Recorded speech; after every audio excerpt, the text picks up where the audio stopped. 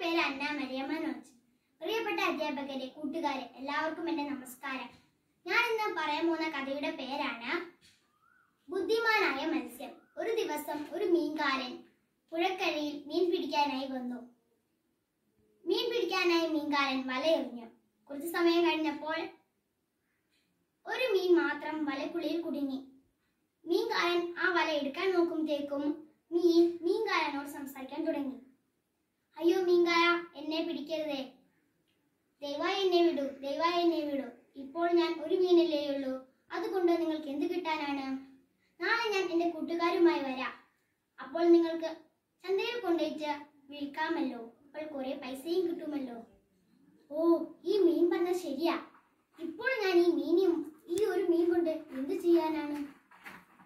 അപ്പോൾ മീൻകാരൻ ആ മീനെ വിട്ടു മീൻ ജീവനും കൊണ്ട് ഓടി പിറ്റേ ദിവസമായപ്പോൾ മീൻകാരൻ വന്നു. അപ്പോൾ ഒരു മീൻ പോലും വലക്കുള്ളിൽ കുടുങ്ങിയില്ല. അപ്പോൾ മീൻകാരന് മനസ്സിലായി ഈ മീനിനെ പറ്റിച്ചിട്ട് രക്ഷപ്പെട്ടതാണ്.